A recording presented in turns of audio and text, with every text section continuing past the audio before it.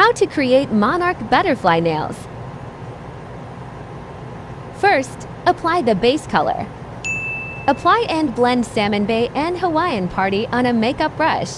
And start dabbing the polish on your nail.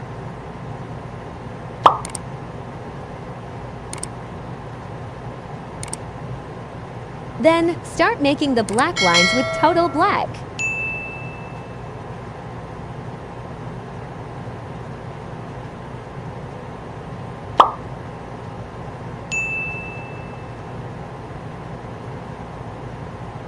When the black polish is dry, use a French manicure and your dotting tool to make the white dots. And finally, apply the top coat. And that's it. Don't forget to hit like, share, and subscribe for more.